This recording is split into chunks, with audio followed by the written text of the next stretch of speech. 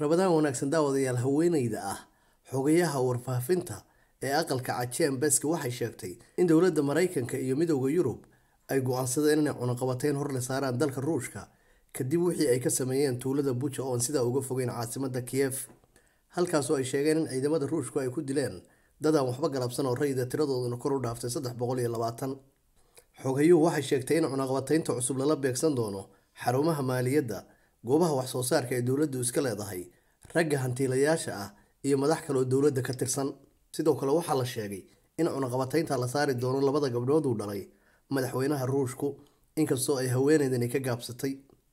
Midowda yurub ayaa sheegay inay cunaqabateyn duldhigayaan aanu ka soo waaqsan dalka ruushku. Toddobiyo labaatanka dal ee ku bahoobay midowda yurub waxa ay sheegeen inay joojinayaan ka soo iibsiga dhuxusha ay ka soo iibsadaan dalka ruushka taasoo sanadkiiba ay ku bixin jireen in ka badan afar bilyan oo eero. Dalal ka tirsan midowda yurub ay ugu horeysa dowladda jarmalku ayaa si aada u weyn ugu tiirsanaa tabarta laga soo saaro dalka ruushka. Sidoo kale maalinimadii dorhad ayuu sheegay madaxweynaha dalka faransiiska emmanuel macron inuu joojinayo dhuxusha uu kala soo dego dalkaas iyo gaaskoodaba. Waxaase dowladda jarmalku weli sheegaysaa in hal mar si toos loo wada joojiyo waxyaabaha ay ka heli jireen dalka ruushka inay aada u adag tahay ayna u baahan tahay waqti dheeraad oo la siiyo. Ugu yaraan inta ka dhiman sanadka sidoo kale dowladaha midowda yurub waxay isku raaceen inay joojiyaan geedaha shimiitada cuntada laga soo saaro badda iyo sharaab ay kala soo degi jireen dalalka ruush iyo belaruush taasoo ay sannadkii ku bixin jireen in ku dhow lix bilyan oo eero. Madaxweynaha dalka ukrain oo habeennimadii xalay la hadlayay kalfadhigii golaha ammaanka ee qaramada midoobey waxa uu sheegay in ciidamada ruushku waxa ay ka geysteen tuulada buja aan horey loo arag wixii ka dambeeyey dagaalweynihii labaada adduunka waxa uu sheegay ciidamada ruushku inay ku raaxaysanayaanba inay laayaan dad rayadoon waxba galabsan oo ay ku jiraan carruur yaryar ah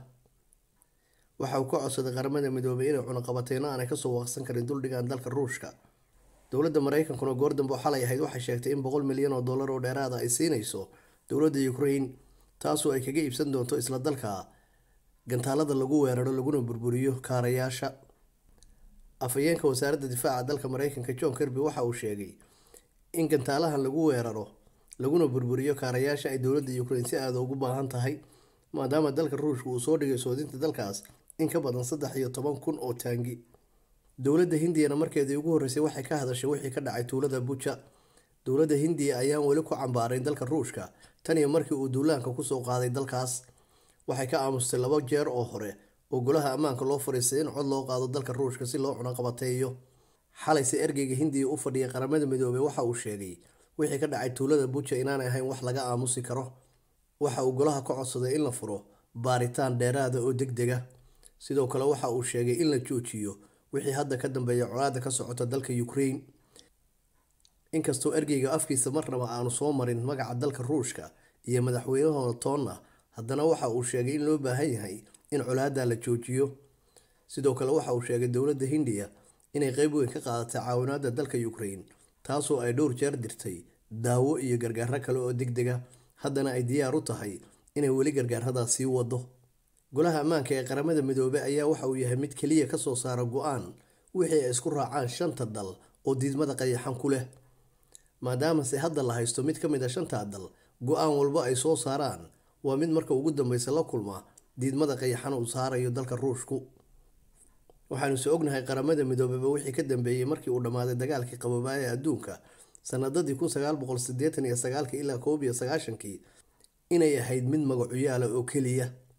Awooddeeda dhammina waxay ku koobnaatay inay wax cambaarayso amaba ay ka dayriso hadba dalkii ay ka dhacdo xaalad bini-aadanimo taasoo ay xoogaa qaaraana kaga ururiso dalalka horumaray.